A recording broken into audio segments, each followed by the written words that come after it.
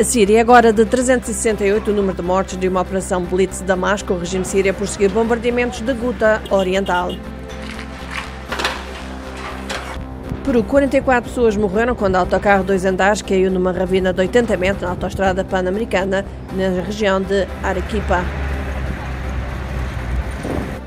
Montenegro. A polícia tenta identificar o responsável que atirou um engenho explosivo contra instalações diplomáticas americanas em Podgorica antes de suicidar.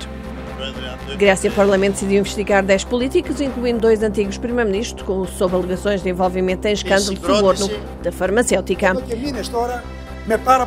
Estados Unidos intensifica-se o debate sobre armas com estudantes da Flórida a reunir com representantes estaduais. Presidente Trump reuniu também com estudantes, pais e educadores afetados pela violência das armas.